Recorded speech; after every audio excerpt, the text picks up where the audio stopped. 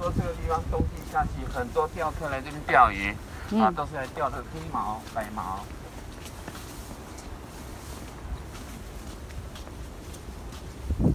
我们现在感觉呢，就是比较没有风了哈，因为我们到了逐渐靠近南诶最北边哈，最北边的东诶的西半边啊，西半边。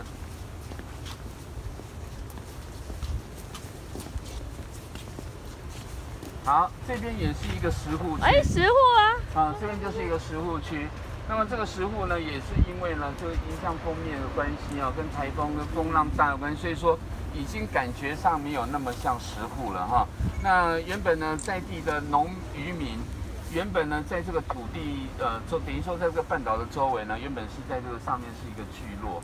那嗯当时呢，我的老板呢，他的父亲看到这块土地的时候，他认为说呢，因为他当时渔民的生活呢不是很好的，都靠着什么？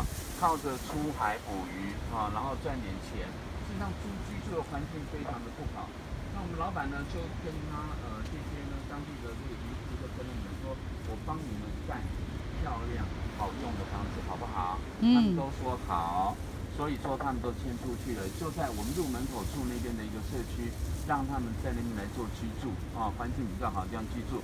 那么就把这个土地呢，就怎么样重新呃，重新怎么样重新重划，冷不冷重划？以后呢，才不会还好有这个所谓用了呃这个景还好啦区的度假村的一个创设啊。这个还有用哎，还是没有。当然有啊，防风。